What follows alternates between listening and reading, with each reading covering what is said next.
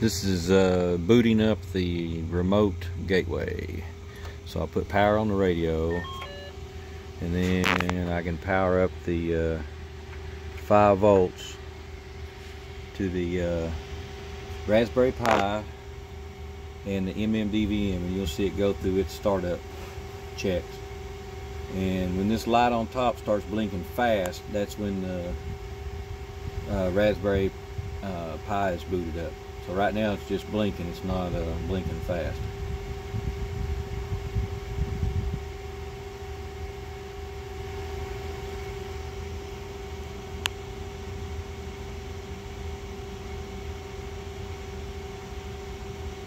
Takes just uh, 30 seconds or so, there you go.